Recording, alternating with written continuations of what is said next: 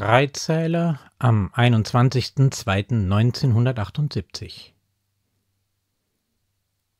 Es sprießen immerfort die sanften Toten aus Blume, Baum, Gebüsch und Wald.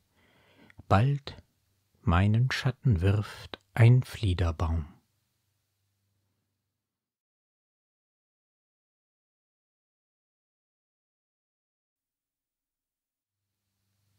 Wer es kennt, wird es nicht überhören. Wanderers Nachtlied von Goethe.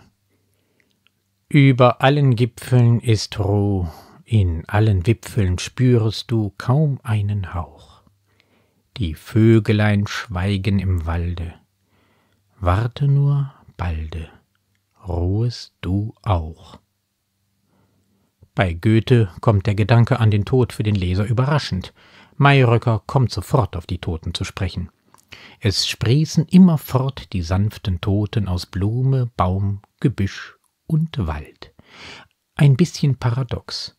Es sprießen nicht etwa die Blumen, Bäume und Büsche aus den Toten, die doch die Erde, wie es bei Rilke heißt, mit ihrem freien Marke durchmerken, sondern umgekehrt die Toten selber aus dem, was da wächst, weil sie doch darin gewissermaßen leben.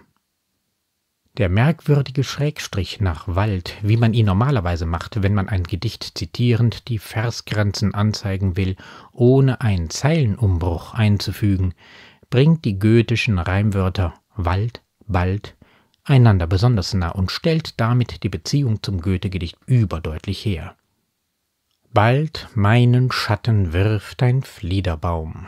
Sehr poetisch. Sie wirft als Tote nicht mehr selbst den Schatten, sondern der Fliederbaum ist es, der es für sie übernimmt. Man weiß übrigens nichts von einer biografischen Bedeutung des Datums in der Überschrift. Wir wissen immerhin nun genauer, dass Friederike Mayröcker noch weitere 33 Jahre vergönnt waren, ehe sie nun nach fast 97 Lebensjahren vielleicht ihr Versprechen wahrmacht.